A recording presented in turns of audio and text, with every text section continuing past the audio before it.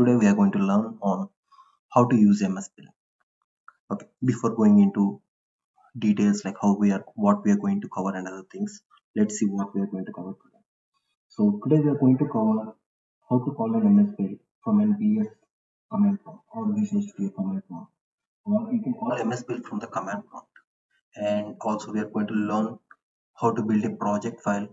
So in that we are going to cover like what are the configurations and what are the uh, platform and other things. And also we're also going to learn about uh, building a solution from ms build. And as well as we are going to learn ms build and what is ms build file.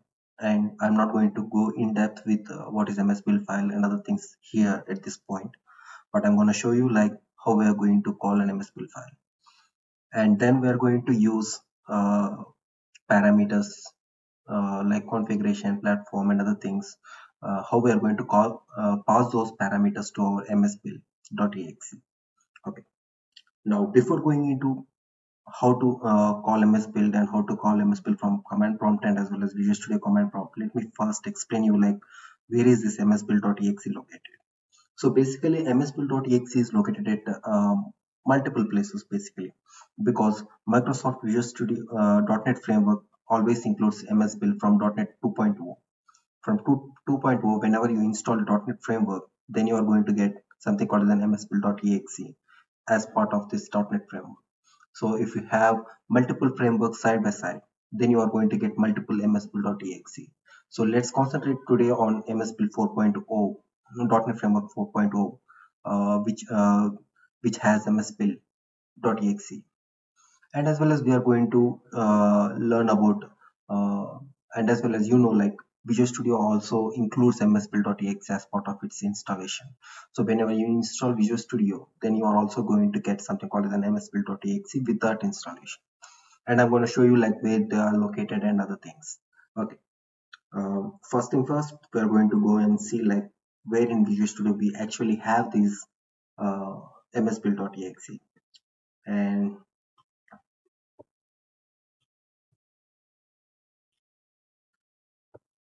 and here we have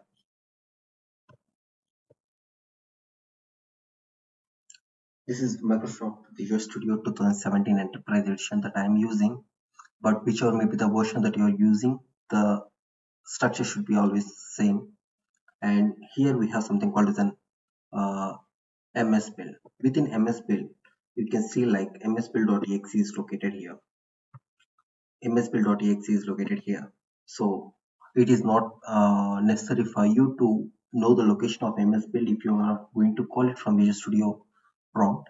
But if you are using it from uh, command prompt, if you want to use it from command prompt, then it is something worth noted because I'm going to show you like what is what are the issues that we are going to have if you want to call MS Build from command prompt right away without without uh, having msbuild.exe set up in your mission that i'm to uh, talk about it later. So here is where the uh, msbuild.exe is located in visual studio 2017 and uh, as well as i have told you like it also ships with microsoft.net framework. Then if you go and check with uh, .NET framework location. So here we have something called the .NET framework 4.0 so here we have something called as an msbuild.exe even it, it also uh, msbuild.exe is also part of .NET framework. So it also comes with .NET framework. And uh, we can call these from multiple uh, things. Like we can call it from command prompt or you can directly call it from Visual Studio command prompt. So as you know like Visual Studio command prompt is an uh, tool which is used to uh, call some of the things like if you want to restore some of the NuGet packages if you want to uh, call ms build in order to build your solution or something like that. So it is used for multiple uh, purposes but here we are going to concentrate on ms build. So if i go here and if i type for ms command prompt then it will automatically show you like Visual Studio command prompt developer command prompt for Visual Studio 2017 and if I run it as an administrator it is going to uh, come up with this uh, command prompt. Yeah now it is loaded. Now if you type ms build then it directly says like please specify the solution that you want to build or the project file that you want to build. So uh, and as well as uh, if you type ms build you are going to learn some more things like what is the microsoft uh, build engine that you are using here for .NET framework. So it is 15.9 so these are the major versions. So 15.9 is the build engine that we are going to work uh, that is going to be used by ms build okay. And the next thing is like we are going to call it from the command prompt. As i told you like earlier so if you directly call something from command prompt then you are going to face some issues like ms build is not recognized as internal or an external command. That is because the msbuild.exe path has been not specified here. So basically i have uh, already set up in my machine. If i say ms build it is going always going to give me that what is the build engine version and what is the .NET framework version which is it is targeted with and all other things. So so as you see like the .NET build engine version uh, differs from what is shipped with .NET framework and what is shipped with Visual Studio 2017 obviously because .NET framework 4.0 was released uh, earlier than uh, Visual Studio 2017 which came later. Okay um, and uh, but if you if you find any issues like unable to find the uh, uh, it is not an internal or an external command something like that then what you need to do is you need to add the environment variable to path. So i'm going to show you like how we are going to add it so if you go to this pc and if you go to properties and there's something called as an advanced system settings. If you click on that then it is going to give you the system properties and under which you can you have something called as an environment variables. Okay. The environment variables has so many things and out of which we are only concerned with the path variable. Okay. There we are going to select the path variable and click on edit and make sure like you never uh, uh, change something that is above this. So always you create a new one if it is already not available. So here here is the one that i have added for this. So now it knows like microsoft uh, msbuild.exe is available in so and so location. So this is the reason why it is uh, aware of like msbuild.exe is a program or a command. Okay.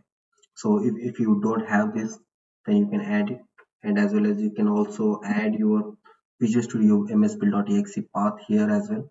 So that the command prompt knows like uh, msbuild.exe is a command. So for now we are going to just add this one. And if you click on ok then you are good to go. Then you will be able to uh, see msbuild and call msbuild from command prompt.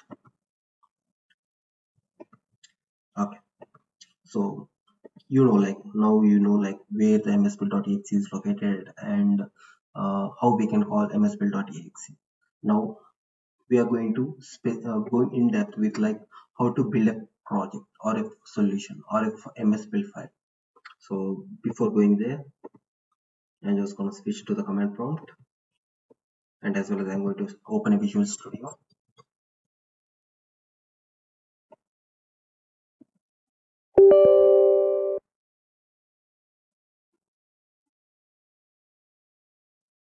here in visual studio we have we are going to create a new project.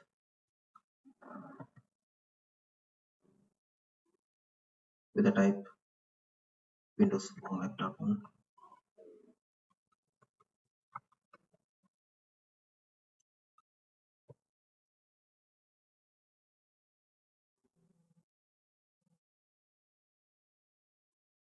now once you have created this project file then if you click on the project file and click on open file or folder explorer in file explorer then you are going to get something called as a location of the project where you have created.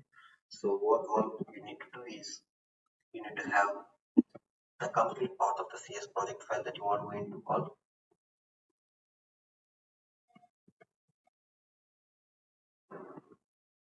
so now we have created our, our project. Now we need to build this so in order to build that what we can do is we can either use Visual Studio command uh, from command prompt or you can use Visual Studio command prompt. So out of those, I'm gonna use, I don't know where I am, but I'm gonna call ms build and give the entire path of that solution.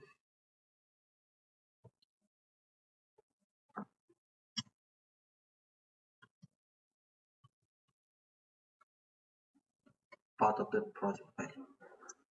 So ms build and this is the path where I have created my project file and if I build it, it's done. So this is as simple as that. But if you see like the default location where the output has been copied is set to bin debug okay so which means like we are calling it in a debug mode so we are going to call or uh, we are calling it in a default mode because we haven't passed anything. It is going to consider the default mode of uh, platform. So the configuration is going uh, the configuration is going to be debug configuration and the platform is going to be any platform. So here we have. So these are the two things that are going to specify like what is the uh, mode and as well as what is the platform so here in this configuration we can either set release mode and as well as we can set the configuration. So in order to have use the configuration manager can, you need to add a new configuration. So which can be done using this one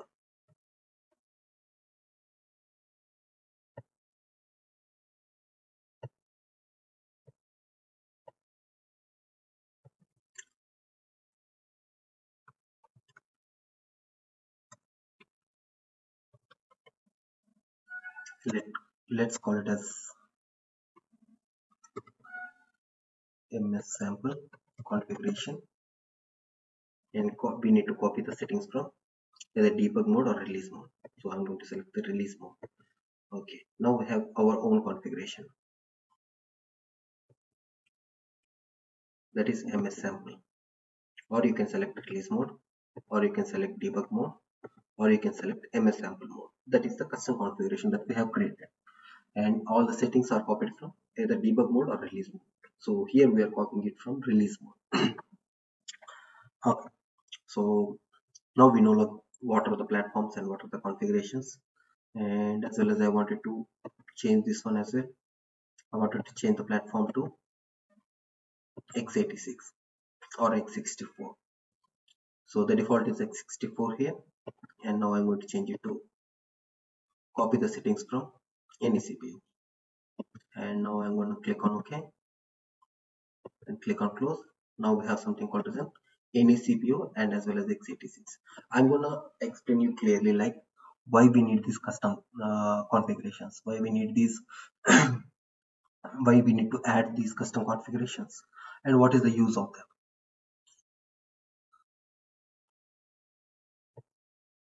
okay for now we are going to just uh, stick with only two things that is the debug mode and the release mode.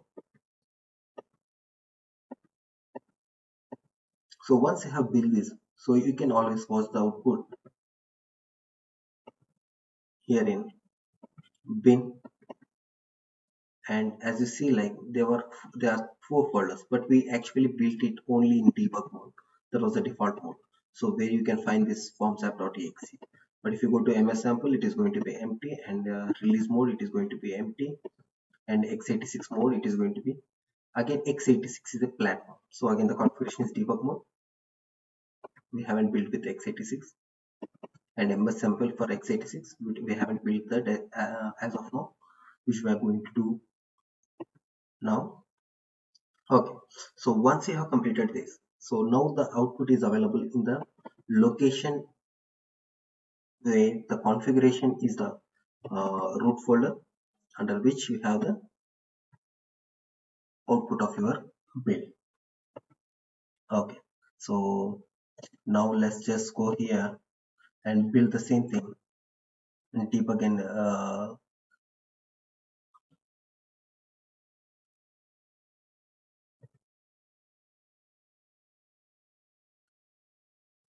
so it says like one has got succeeded zero failed and zero updated and zero skipped. So nothing has been updated. Why why it was not updated? It was able to build it but it was not able to update it because there were no changes in the project or the uh, code of the solution where you are going to build it. So if have any changes then it is going to build it.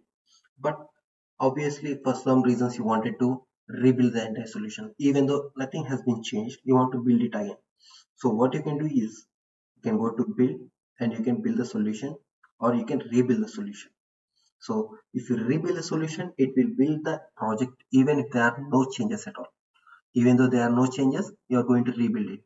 And the same thing can be done from command prompt. So you can call the target as build and rebuild so the build is going to build only if there are some changes and the rebuild is going to do even if there are no changes at all and we have one more thing called the clean solution. So where the target is clean and which specifies like first remove all the output directories and output files from the output directory and then rebuild those uh, projects. So once it doesn't find any output directory it is going to build the solution. But whereas in re, uh, normal build solution it is not going to do that. If the output directory is available and if the output doesn't uh, hasn't changed at all. Then it is not going to build it. It is just going to say like succeeded okay.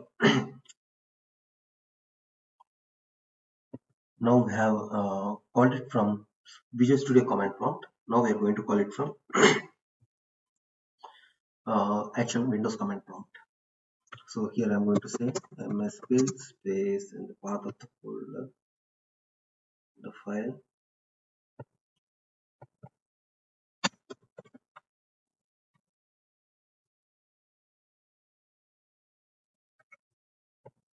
And specify, specify so it has the it has uh, built the solution. And uh, while building it is doing so many things. And it is as well as logging all those things. So as you can see like it is giving the output from msbuild.exe so this is called as a logging. So you can either have logging in we are going to go in depth like what what is logging and how we can log uh, our output of ms build and other things. But basically what whenever you call msbuild.exe without any options then it is going to log. It is a minimal log. It is not a verbose log. So if you want the detailed step by step uh, of the log then you need to specify like logging is equal to verbose which we are going to cover in uh, in the next thing. But before going there i wanted to show you something like uh, uh, what is the tool version and uh, how it has a uh, decoded it and other things. So the tool version and everything is even though we are calling it from 4.7 it is all it is uh, now taking the target version as 4.0 tool versions is selected as 4.0 because our project is targeted to 4.0 so if you go to our project and if you unload this project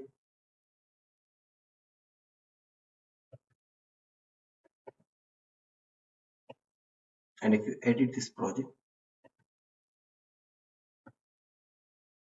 then we have something called as an target framework and we also have something called as an output type. And also we are having something called an assembly name. And as well as we have property groups. So property groups are going to specify like um, the different things. Like if I call it by dollar of configuration is equal to debug and platform is equal to any CPU debug and any CPU then it is going to take all these parameters by default so the output path is going to be bin slash debug.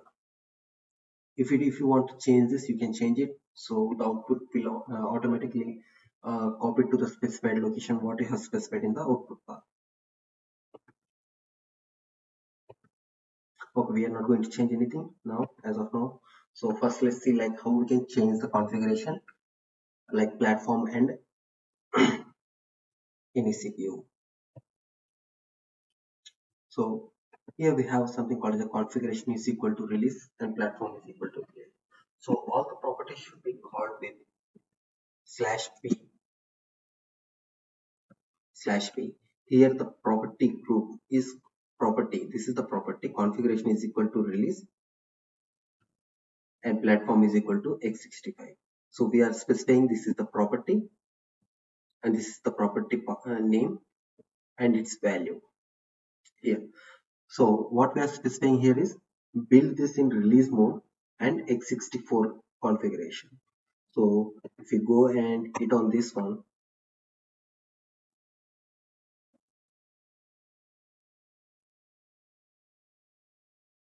it is saying that the output property is not set for the project forms.app.cs project. But we have already seen like it was already set up. So why it is showing like it was not set up so let's again go to our msbuild.cs project.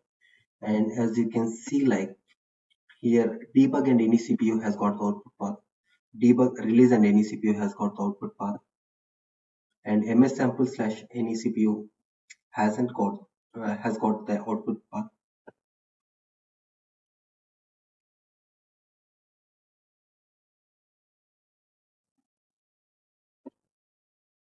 and release x86 has got the output path and that's it. We don't have something called as an release and x64 if you want to include that as well then what we can do is just copy this configuration.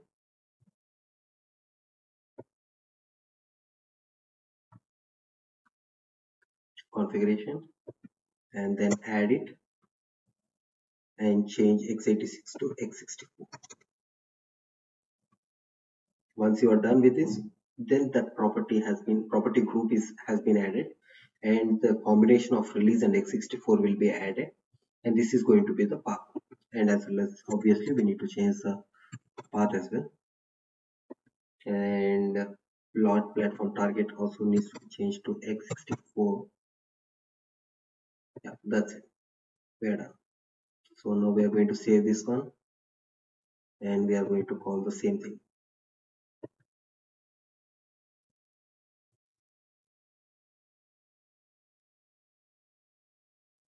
now you are able to build this.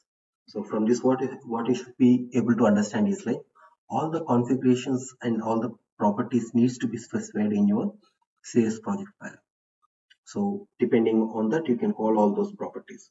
So either configuration is equal to x86 or ms sample x64 whatever it may be. So the configuration and the different things that are required by ms in order to build your solution needs to be specified there and there are so many other things that you can customize which we are going to uh, go in depth in future. But for now let's concentrate on these uh, uh, simple things. So here we are specifying like x64 and release mode which was not there earlier. Now we have specified it. Now if you go to the output path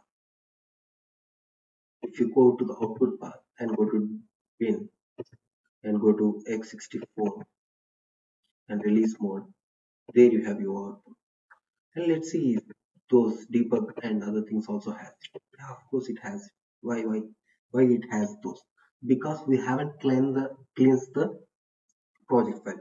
And if you don't want these to be there for some reason let's say that you have some uh, custom task where you want to build the solution and once the build is completed and you need to copy all the exe files all the exe files from different location and copy it to some location. But if you have multiple configurations there but you are intending it to build on x64 version uh, x64 platform that is 64 version of the windows then you are going to get x86 and x64 there because earlier you built it with x86 now you are building it with x64 so it retains the output of the two configurations and that is not good because we only wanted uh, to get the output for uh, x64 that is windows 64 bit version.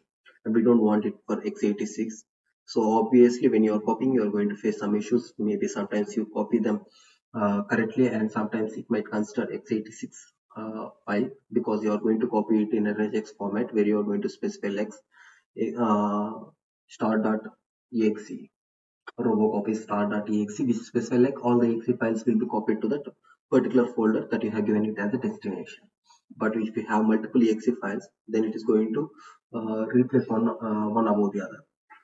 So you don't know like which version of exe you are going to get.